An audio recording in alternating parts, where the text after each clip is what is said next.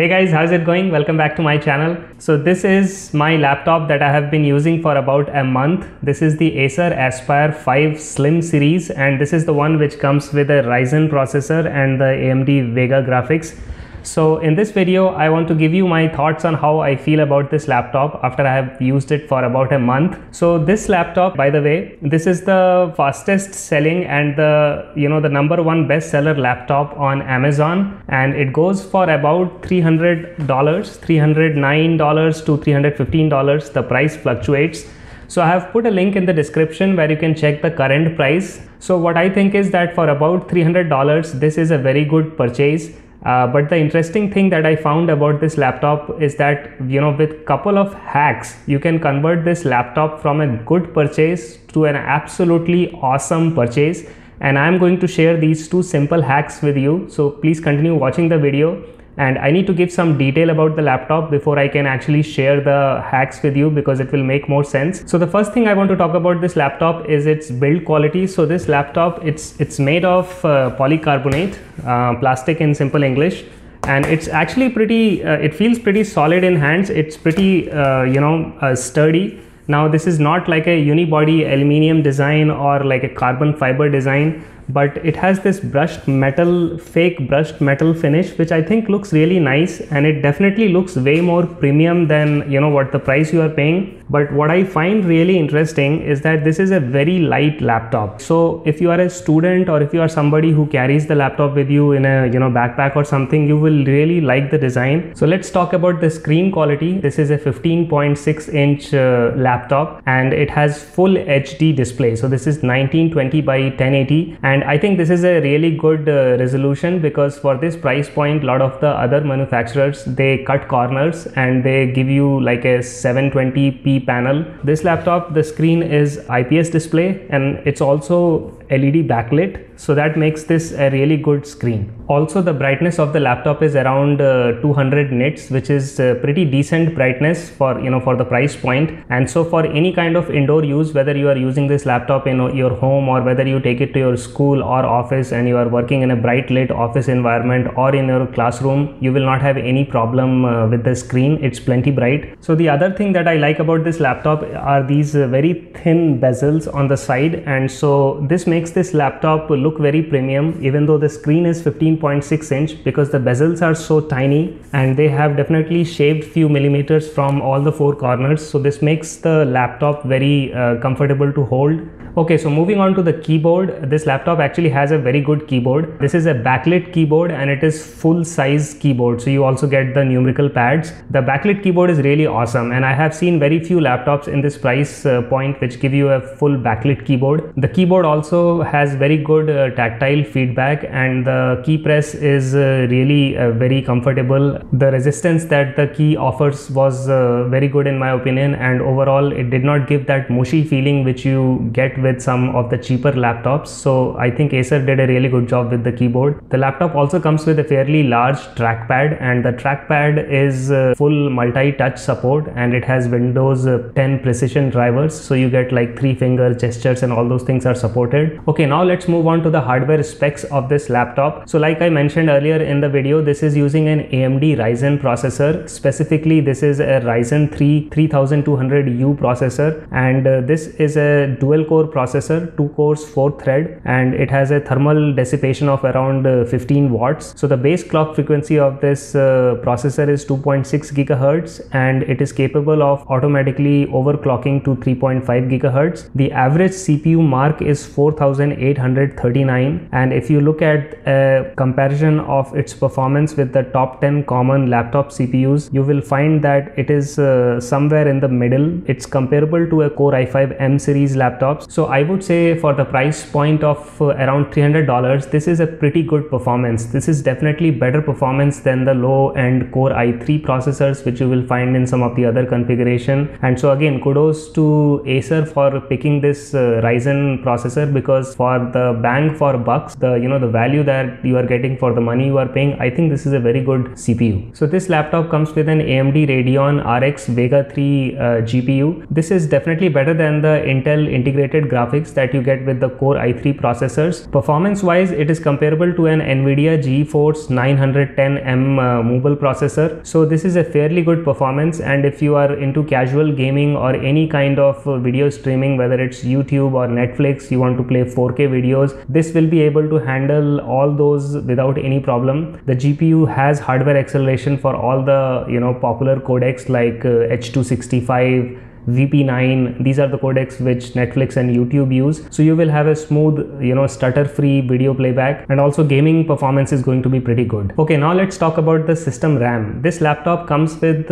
only 4 gigabyte of system RAM. And this is the first negative that I would say on this laptop that you know the system RAM is not sufficient. In 2019 for any Windows laptop 4 gigabyte is definitely not uh, sufficient memory to run a full-fledged Windows operating system. But this is a very interesting interesting case because here what they have done is that instead of putting a full-fledged version of Windows 10 they have put something called Windows 10 S mode. Now if you're not familiar with S mode what I will say is that S mode is basically shit mode it's actually a gimped version of windows and uh, what they are offering you is a neutered version of windows. The biggest problem with s mode is that it does not allow you to install any software that you want. Windows s mode actually enforces this strict rule that the only software that you can run on a windows s laptop is uh, the software that is available on microsoft uh, app store. Now microsoft app store we all know it's basically a deserted uh, platform. There are hardly any apps available available on Microsoft App Store. So take the example of uh, a popular browser, say Google uh, Chrome browser or Mozilla Firefox browser.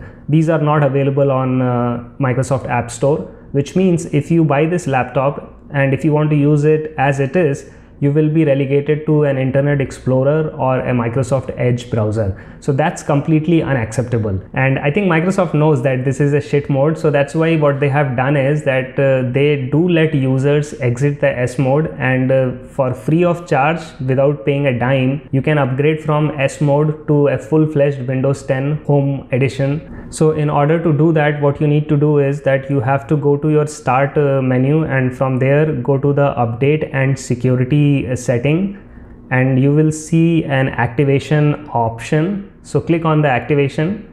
So here you will see that your laptop is currently in S mode and uh, just below that S mode information you will see an option to switch out of uh, S mode.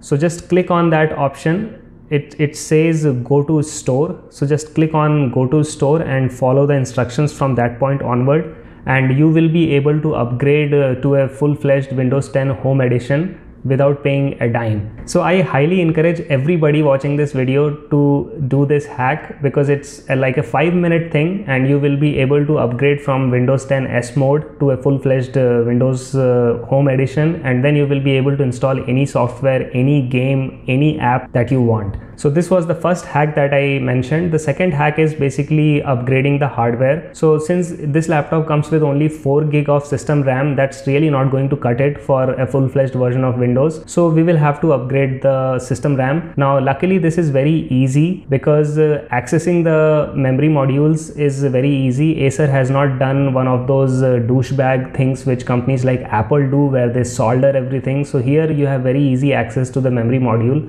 So all you have to do is is um, at the back of the laptop you see about one dozen screws and you just need to unscrew these. You just need a phillips uh, you know head screwdriver. So after you have unscrewed all the screws uh, you use a plastic knife or maybe a you know a plastic credit card to start uh, prying out the bottom and the whole bottom plate is going to come out. Once your bottom plate is out then you will have access to all the hardware of the laptop. As you can see here i took the back plate out and uh, you have access to both the memory modules as you see here. So you have two memory slots and one of the slots is already occupied with a 4 gigabyte of uh, ram and the other slot is empty so at this point you have multiple options. So if you want top performance then my recommendation is to buy a 16 gigabyte memory kit. 16 gigabyte memory kit will basically be two sticks of 8 gigabyte and you will have to basically remove the existing 4 gigabyte memory and put the 8 gigabyte uh, stick in both the slots. Now if you are on a budget and you don't want to spend money for a 16 uh,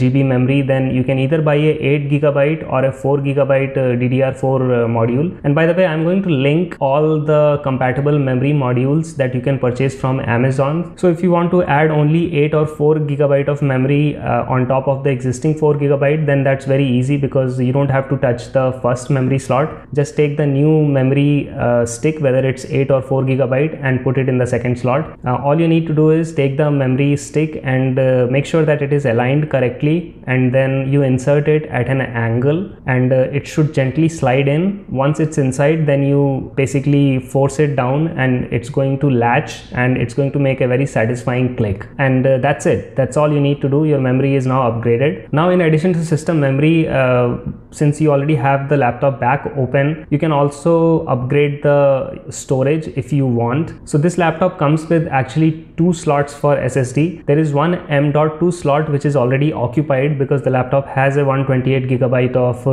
ssd so you can upgrade that if you want uh, but then you will have to clone the existing windows operating system to the new ssd the other easier option is that uh, instead of messing around with the m.2 uh, ssd you can buy a sata ssd and as you can see here there is an empty slot for the SATA SSD and you can just uh, keep the original uh, SSD in its place get a you know supplemental SSD and put it here. So that way you will not have to clone the operating system. Uh, you can keep the original SSD in its place and you can put the new SATA 3 SSD in the SATA slot. So again I'm going to link both the SSDs uh, the M.2 SSD and also the SATA SSD and uh, you can check out the price. And if you you know if you want more storage then uh, this is one of the optional things things that you can do. So like i said before i have been using this laptop for about a month and i upgraded the memory to 16 gigabyte and uh, i also put a ssd in it to increase the storage. And uh, with this i have used this laptop not just for the casual use like netflix and uh, youtube. I actually am running uh, video editing software on this so i've done 4k video editing on this. I also do some programming you know some app development. So i have android studio and the microsoft uh, visual studio uh, for c++ programming. So i'm running some serious you know some uh, heavy lifting applications and this laptop has really not stuttered for me. It's giving me very good performance. So for the price that i paid which was $310 for the laptop and then i did a memory upgrade and ssd i am very satisfied with the performance that i'm getting from this laptop and I highly recommend this laptop to anybody whether you are a student or whether you are looking for a laptop for your home purchase. I think this is a really great value for money. Uh, you just need to do the two hacks that I spoke about and uh, after those two hacks you will be very satisfied with this laptop. So guys if you have any questions about how to upgrade the memory SSD or if you have any uh, other question feel free to leave your question in the comment section below and I will help you guys and uh, I hope you found this uh, video useful. If you think this video helped you then please like this video and if you want to see more content like this then please subscribe to my channel because I make you know content like this. And uh, I will see you guys in my next video. Bye